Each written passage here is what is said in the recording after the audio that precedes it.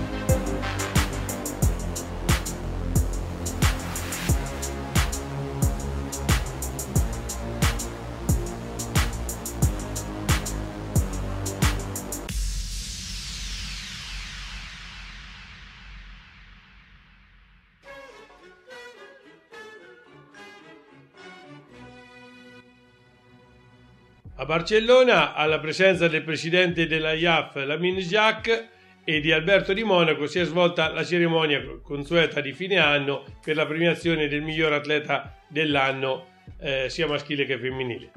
A livello maschile per la quarta volta consecutiva ha vinto Usain Bolt e poi quest'anno aveva una concorrenza molto agguerrita, David Rudiscia eh, si è classificato al secondo posto e però ha vinto la, come la miglior performance con il suo record del mondo fatto proprio in, eh, alle Olimpiadi eh, negli 800 metri. E poi Arias Merritt terzo anche lui con record del mondo dei 110 ostacoli ma fatto subito dopo le Olimpiadi non quindi alle Olimpiadi. Quindi ancora una volta Usain Bolt eh, sul trono più alto e non poteva eh, che essere altrimenti nonostante questi altri grandissimi campioni poi da citare anche Mo Farah che comunque eh, sarebbe sicuramente stato in qualsiasi altro anno eh, se non c'erano questi grandi campioni nei primi tre perché eh, lo ricordiamo ha fatto la doppietta 5-10 mila.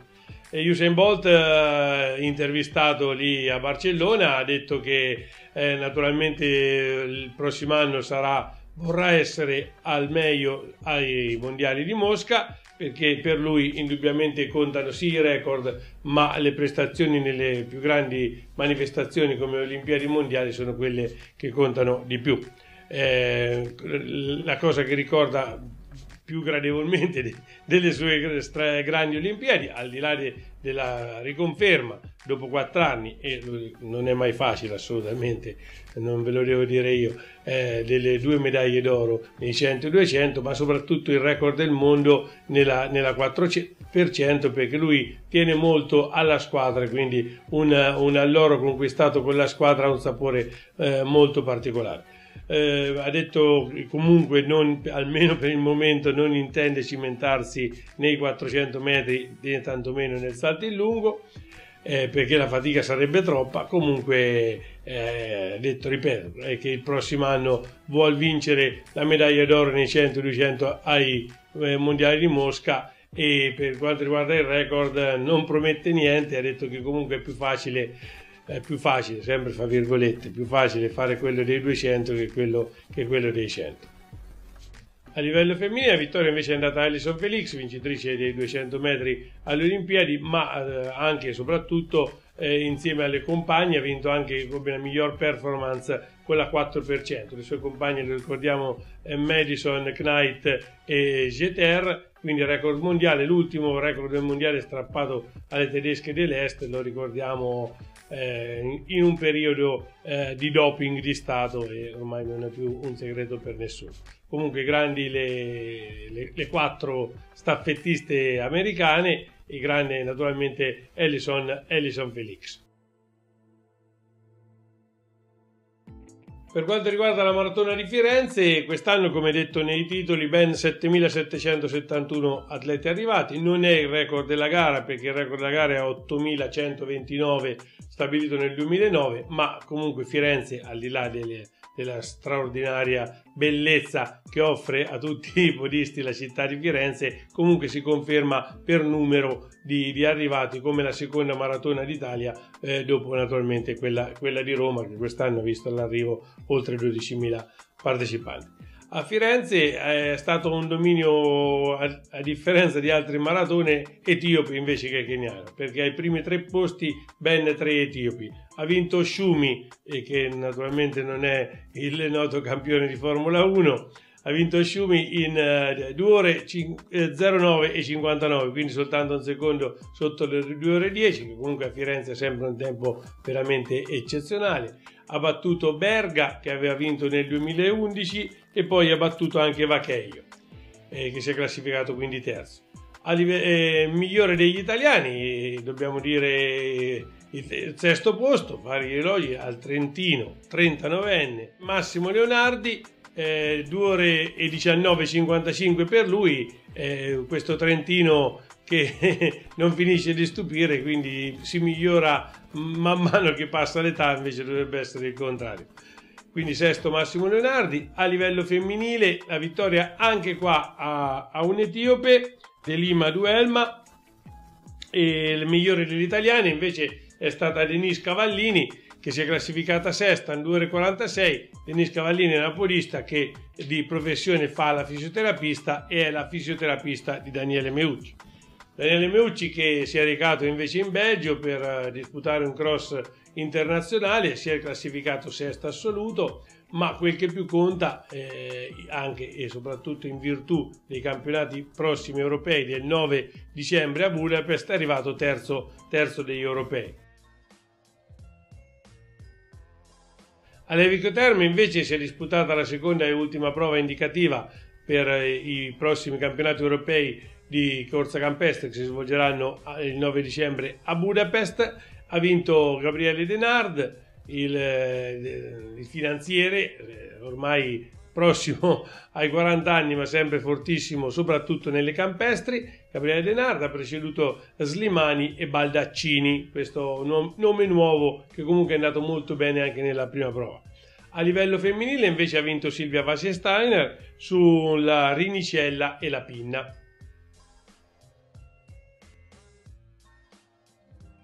Ora siamo alla rubrica eh, che è iniziata la settimana scorsa, la rubrica Amarcord che vuole far vedere ai tanti atleti praticanti oggi quello che è successo, i più grandi campioni che hanno onorato la nostra cara disciplina eh, dell'atletica leggera nel 1900. Via con la sigla.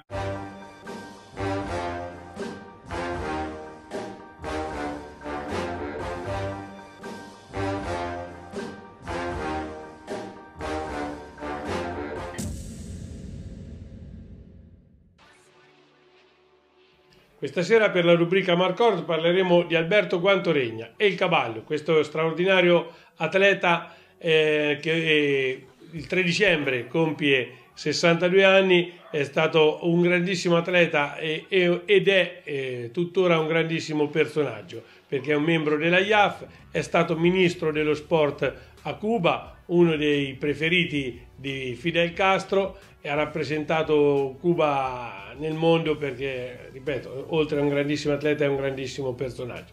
Ha realizzato un'impresa straordinaria perché finora è stato l'unico a vincere i 400 e gli 800 nella stessa Olimpiadi, precisamente nel 1976 a Montreal e ripeto, essendo ancora l'unico vuol dire che eh, di per sé l'impresa è straordinaria. Addirittura gli 800 metri eh, con il record del mondo 1,43,50 e battendo il vecchio primato che apparteneva al nostro Marcello Fiasconaro.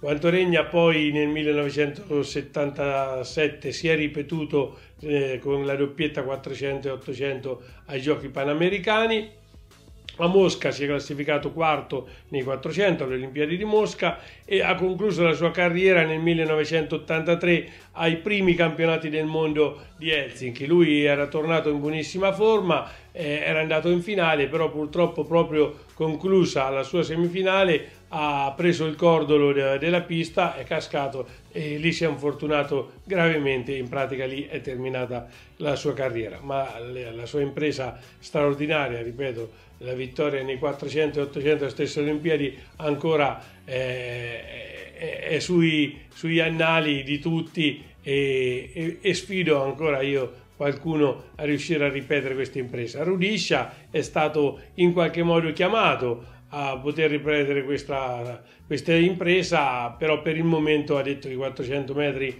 non sono nelle sue corde e quindi vuole continuare almeno per il momento soltanto negli 800 metri. Vedremo, chi vivrà vedrà.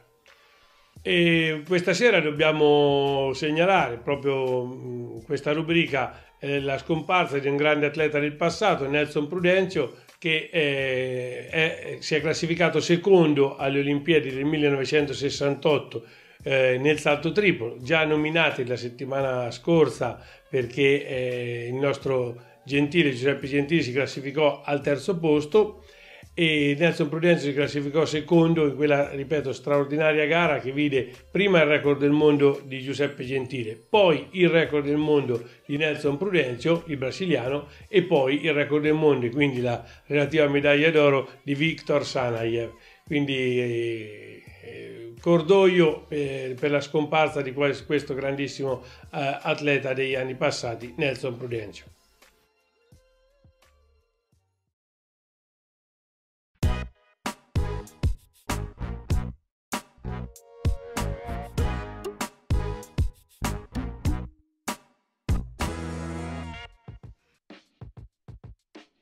Per quanto riguarda il podismo, parleremo di due gare che eh, si sono svolte qua in Umbria, precisamente la gara di Giano, di Giano dell'Umbria, l'Olio Running e il trofeo l'alternativa di Spello.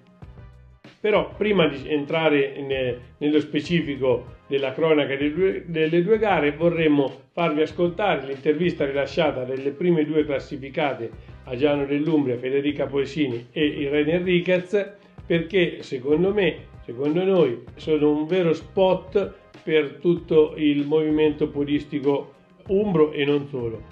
Siamo con Federica Poesini e Irene Enriquez, rispettivamente prima classificata, seconda classificata già nell'Umbria. Allora, Federica una maratoneta che vince anche sulle gare eh, corte, in questo caso di 7 km. Com'è la tua impressione sulla corsa di Giano dell'Umbria? È una bellissima gara e io è la prima partecipazione, eh, però devo dire molto carina, è un percorso abbastanza duro, però molto carina. Molti sali e scendi, ci conferma come, come, ci hanno detto prima. E invece Irene è arrivata seconda. E Irene volevo dire una cosa, Irene. Allora, per, per me eh, l'Irene come anche Federica sono lo sponsor del Polismo Umbro, non, non tanto perché arrivano prime, eh, seconde oppure si piazzano sempre prime, cioè si piazzano sempre sui primi posti eh, nelle corse, ma perché hanno sempre il sorriso in bocca, questo è fondamentale nel Polismo. Irene infatti l'ho inserita nella sigla non a caso, perché lei ride sempre, arriva quinta, quarta, terza, seconda, lei ride sempre. Irene, io penso che il sorriso è una dimostrazione d'amore. Io penso che per chi fa sport lo fa per amore, per salute, per stare bene, per ritrovarsi con gli amici ogni domenica. Il bello è quello.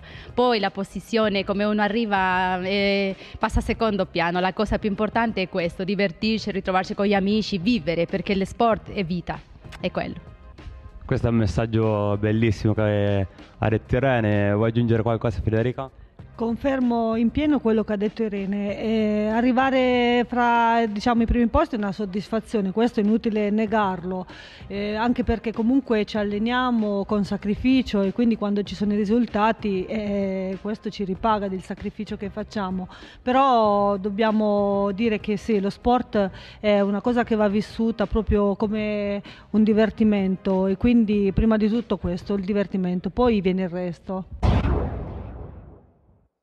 Dicevamo a Giano, eh, terza edizione dell'Olio Running, questa eh, gara si svolge in uno scenario incantevole fra gli ulivi secolari eh, di Giano dell'Umbria. Eh, domenica scorsa poi lo scenario era ancora più bello perché c'era la nebbia fino agli ultimi 500 metri, poi il sole su, in cima in piazza, in piazza Giano. Quest'anno era assente eh, l'atleta nato proprio lì a Giano dell'Umbria, Maurizio Vagnoli, che lo scorso anno aveva vinto questa gara e purtroppo quest'anno era assente per un fortuna anche abbastanza grave. Speriamo di riaverlo presto al via il nostro Maurizio Vagnoli e la gara è stata, ripeto, molto molto caratteristica, 7 km, eh, però molto muscolare perché c'era tanta, tanta discesa, ma eh, quindi naturalmente anche tanta salita, comunque percorso come detto eh, straordinario, corso eh, tra, tra, gli ulivi della, della campagna di Giano. Dobbiamo innanzitutto, credo tutti i podisti che hanno partecipato, ringraziare Graziella Petruccioli, consigliere comunale di Giano dell'Umbria, che insieme al sindaco Paolo Morbidoni hanno allestito una gara veramente bella con un ristoro incredibile e premi veramente, veramente per tutti. Ora naturalmente via alla clip realizzata proprio a Giano dell'Umbria.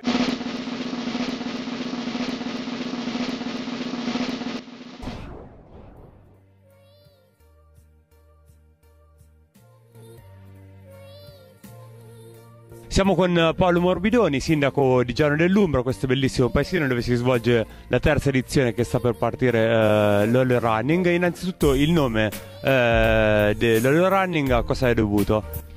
All Running eh, chiaramente richiama eh, la vocazione olivicola del, del, territorio e richiama la manifestazione Le Vie dell'Olio in cui eh, questo evento sportivo è inserito. Abbiamo pensato eh, di organizzare un evento come questo perché è importante comunque sia collegare questo messaggio per far capire insomma, l'importanza di un consumo consapevole insomma, di olio di qualità.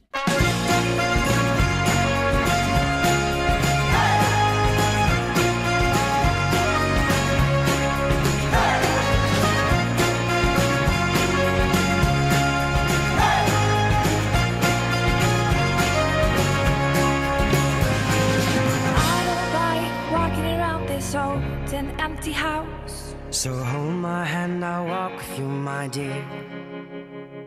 The stars creak, I should sleep, it's keeping me awake. It's the house telling you to close your eyes. And some days I can't even trust myself. It's killing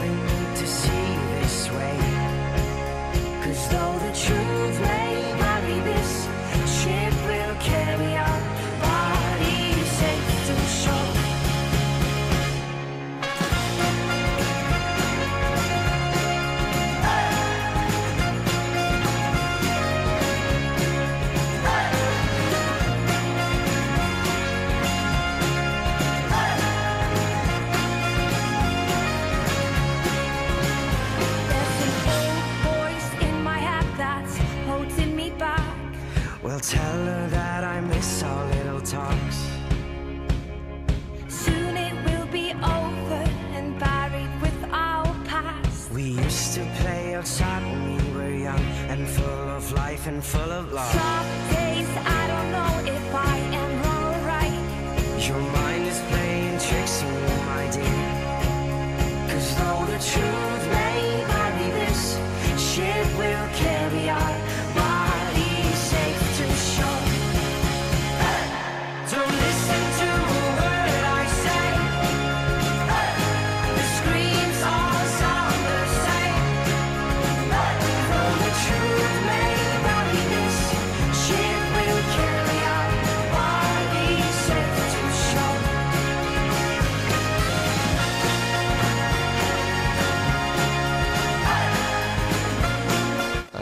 spero di scendere sotto ai 30 minuti di gara e di piazzarmi entro i primi tre eh, di categoria. Speriamo di fare una bella gara, anche perché qui il tempo poi lo permette.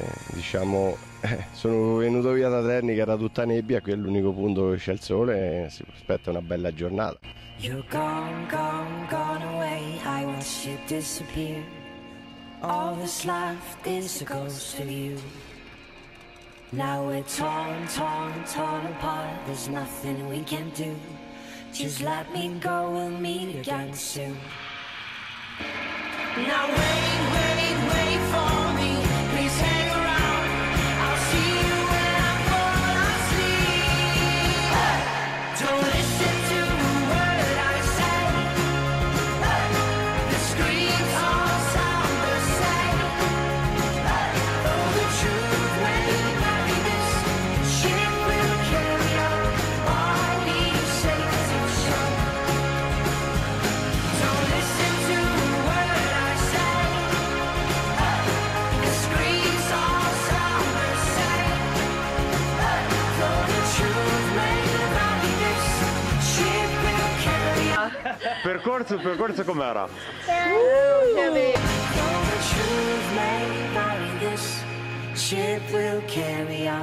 bodies safe to shore. Though the truth may vary, this ship will carry our bodies safe to shore. Un ringraziamento a tutti i podisti, ci rivediamo nel 2013 a Giano dell'Umbria per la quarta edizione di Oleo Running.